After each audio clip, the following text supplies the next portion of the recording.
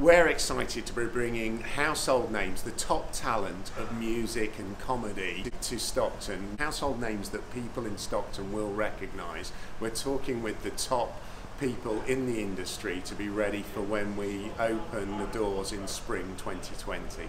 No theatre has ever been taken this far back to be restored to be a home for live entertainment for a modern audience. So this is groundbreaking what we're doing here, which is what makes it a challenging and exciting project.